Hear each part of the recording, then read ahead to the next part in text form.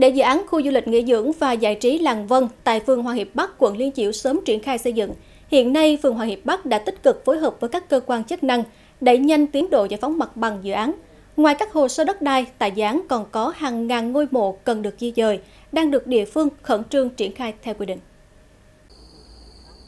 Ngoài diện tích đất cần thu hồi, dự án khu du lịch nghỉ dưỡng và giải trí Làng Vân có nhiều ngôi mộ của người dân đã chôn cất lâu này cần di dời Đến nay địa phương đã kiểm đếm 2.000 ngôi mộ và kê khai 800 ngôi mộ. Những ngày qua, phường đã tổ chức các buổi họp dân để tuyên truyền, vận động người dân thực hiện chủ trương di dời. Và gia đình tôi thì có một nghĩa trang, có rất nhiều mộ nằm trong dự án ờ, giải thọ đền bù ờ, là ờ, làng Văn. Thì tống tôi cũng chấp hành theo chủ trương thành phố cũng của chính chính quyền địa phương à, nếu ờ, nếu sau này giải tỏa thì chúng ta phải di dời lên nghĩa trang quy định của thành phố để nó ổn định lâu dài. Tổ dân phố thì đã tuyên truyền với hộ dân thì ờ, theo cái nguyện vọng của người dân thì cũng nhất trí là di dời về nơi tập trung theo cái chủ trương của thành phố. Rồi trong đó thì cái nguyện vọng của người dân thì, thì cũng là giải tỏa đưa đến những nơi mà của thành phố theo quy định đây là khu nghĩa trang tự phát tại tiểu khu 16 thuộc địa bàn phường Hòa Hiệp Bắc.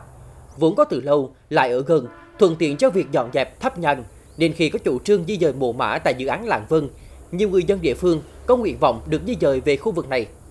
Tuy nhiên, theo Ủy ban Nhân dân phường Hòa Hiệp Bắc, khu vực này đã nghiêm cấm chôn cất từ mấy năm nay và tất cả mộ tại dự án Làng Vân đều phải di dời về nghĩa trang đã quy hoạch theo quy định chung của thành phố.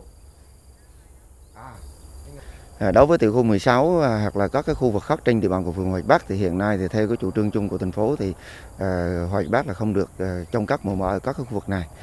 À, về cái giải tỏa đền bù đối với dự án Làng Văn đặc biệt là trong đó là có khoảng 2.000 ngôi mộ. Thì hiện nay thì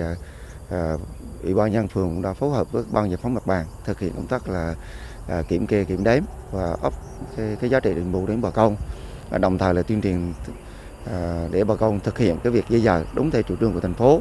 Và giờ về nghĩa trang Hòa Ninh. À, đồng thời à, ngồi cái việc là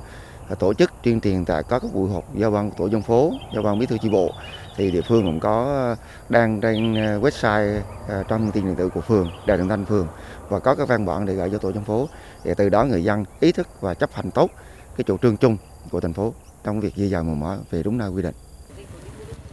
với sự vào cuộc quyết liệt của các ngành chức năng và địa phương, đến nay công tác giải phóng mặt bằng tại dự án Làng Vân đã có những chuyển biến tích cực.